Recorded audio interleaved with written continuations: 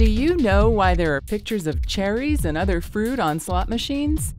The first slot machine, manufactured in the late 1800s, featured diamonds, spades, and hearts from a deck of cards, plus horseshoes and Liberty Bells. But to avoid laws against gambling in a number of states, these traditional card symbols were replaced with fruit, and machines dispensed fruit-flavored gum instead of coins.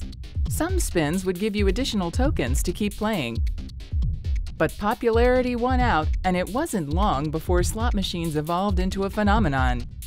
By 1908, you could find slot machines in most cigar stores, saloons, bowling alleys, brothels, and barbershops.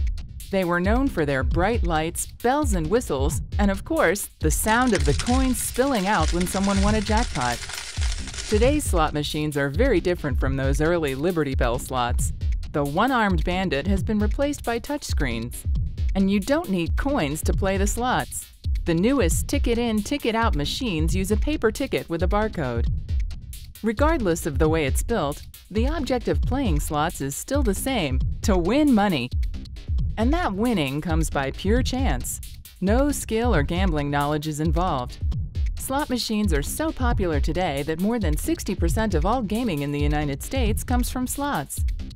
The Wendover Nugget Resorts Casino has more than 800 slot machines. You can play with pennies all the way up to $25.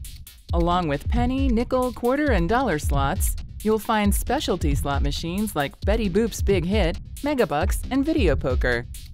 Come take a look at all the choices at the Wendover Nugget Resort's casino slot and try your luck today.